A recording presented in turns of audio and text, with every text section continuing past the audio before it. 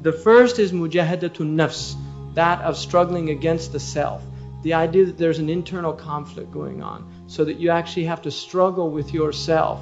And part of struggling with yourself is struggling with the passions. And the passions, again, are what? Your bestial nature. And so, what you struggle that with is with your reason.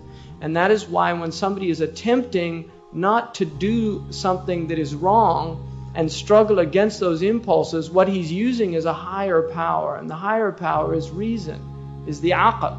And that's why the essence of intellect in Arabic means that which constrains you or which prevents you from doing something that will lead you astray. Aqala ya'qilu means to, to stop, to prevent. And the other Arabic word they use for uh, intellect is nuha, which comes from that which refuses or that which prevents. Again, yanha. All right. So the intellect, the essence of the intellect is that it prevents a human being from going astray. Now, those people that don't listen to the intellect, uh, Allah says about them, in hum kal an'am, they're like animals. But then He says, bedhum adal, they're even more astray. And the reason for that is because animals do not do things that harm them. If an animal knows there's harm in something, it will avoid it. If an animal sees fire, it will flee from the fire. If an animal sees something that threatens it, it will either defend itself if it doesn't see any other venue, or if it, by its nature, uh, the threat is something that it deems within its power. Like a lion, if it's threatened by a lesser animal, aggressive animal, the lion will tend to fight because it's a lion and it knows that it can overpower. So the idea of human beings resorting to the bestial element in the self is a capitulation. It's the idea of surrendering the self to something that is low. And that is why, if you look at the human body itself, the higher organs the heart and the intellect are on the upper body, and the lower organs, the stomach and the genitals, are on the lower body. And so the idea is that this is the way the human being should be. He should be the ruling force in the human being, should be his heart and his intellect, and the subjugated force should be the bestial nature. What happens with human beings is that they become overcome by their bestial nature. And so hunger and craving, which is the essence of desire, overwhelms the intellect. And so they begin to want things that are harmful for them. And this is why they're worse than animals, because an animal will only take what it needs. Lions do not go out and slaughter.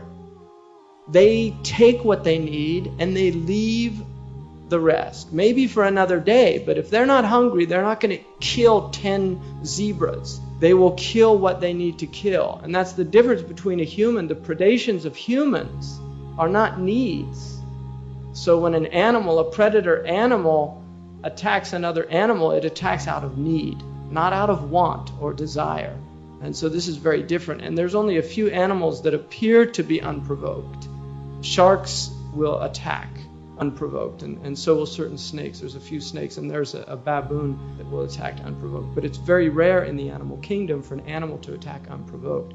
So the idea now, all of sentient creatures, creatures that have emotion and certainly intellect, human beings, have a self defense mechanism. It is part of human nature to defend yourself. If you fall, your reaction is to put your arm out. You don't fall on your face. Human beings will not do that. In fact, one of the first things they teach you in martial arts is to fall properly because you tend to want to put your hand out and break your wrist. So they teach you to learn how to fall in a way that's actually not going to harm you. But the impulse is to brace yourself, is to defend yourself. The same with if somebody begins to attack you, the thing to do is to cover your face, to protect your face. If somebody throws a blow at you, if you just stand there and don't defend yourself, something is wrong with your nervous system. It's not functioning. So self defense is a human, it's actually ingrained in us to defend ourselves.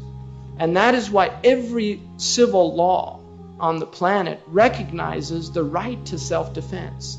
There's no law that does not, whether it's Muslim or non Muslim, every law recognizes that a human being has a right to defend himself from bodily harm, from harm of property, all of these things. The first jihad is that struggle against the self. And this is what makes a human being human. Raghib Isfahani says that a human being, there's two words in the Quran used for human. One is bashar, and the other is insan. A bashar, it is that quality that distinguishes us from other animals. So, for instance, birds are distinguished by their feathers. Birds have feathers. Mammals have fur. If you look at mammals, they, they have fur. Human beings have skin. And that's why we're called bashar. Bashar is from bashara, which means skin. So the human is, when you say he's a bashar, you're just saying he's a man. That's why when the prophets, what do they say about the prophets? They don't say, uh, ma anta illa insanun mithluna. They say, ma anta illa basharun mithluna. You're just a human like us. But they're not saying insan, they're saying bashar. All of us share bashariya. But we don't all share insaniya in truth Just as an act of generosity from God that He calls us insan. What Raghib says, if you can imagine a dog standing on its two legs as opposed to four and talking in language, then you can imagine the state that many human beings are in. That they only share their humanity in the form, not in reality. And there's a verse in the Quran, لَقَدْ كَرَّمْنَا بَنِي Adam. We have ennobled the children of Adam. And that ennoblement is that we've been placed in this incredibly noble form. We're not like animals. We don't walk on all fours. We don't have to go down to a plate. We take things up to our mouth. I don't have to go down and lick, uh, lap up my water like a dog. That I actually have this ability uh, to feed myself and all of these qualities that the human beings has been given. So acquiring virtuous qualities or noble qualities is actually a very difficult thing. It takes time. It's not something that human beings are born with. Compassion is something that needs to be nurtured. Now, some people you will find have this naturally.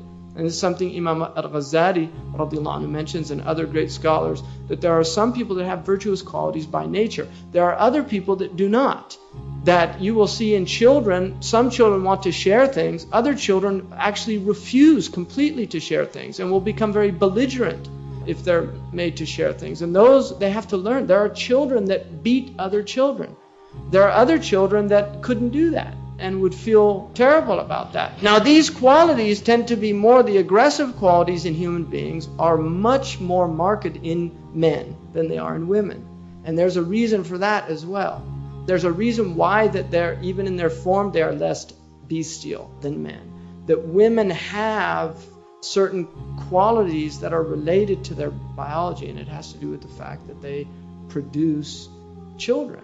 And so there are certain qualities that are inherent just because they have the hormones. I mean, some of it is purely chemical, and other of it has to do with just the fact that there's a womb, rahim, and the essence of the womb is mercy because that's what the word in Arabic, rahim, is rahma, are the same uh, root word, the womb and mercy because the essence of mercy is in the womb. And that's why Allah has derived the womb, shaqaqtu ar-raham min ismi ar-rahman. He actually derived the womb from his name, the merciful.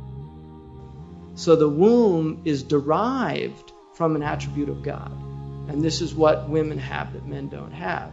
And that is why the humanizing factor in society is women. The mother is the humanizing factor. And, and without that, if the mother is destroyed, then it's a disaster for the rest of the society. So, this idea of acquiring virtue to become a human being, to achieve one's insania, to achieve one's humanness, is very difficult. And that is a struggle. It is a struggle.